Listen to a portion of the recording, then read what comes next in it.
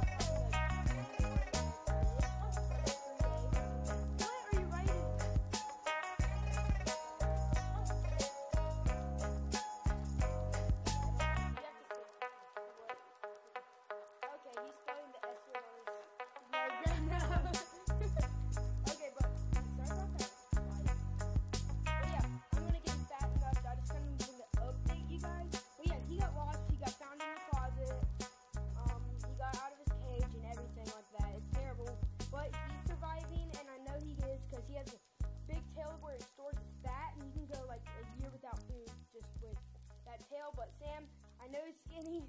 I thought I was gonna. This could have never turned out better. Well, if he never got out in the first place, that'd been best. but yeah.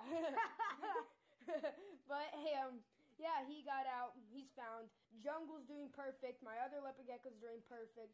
So yeah, I'm gonna set this guy up and get him some food, and he's gonna be good. So thank you guys for joining me on another video of Mason's Wildlife. Make sure to subscribe, and I'll see you guys in the next.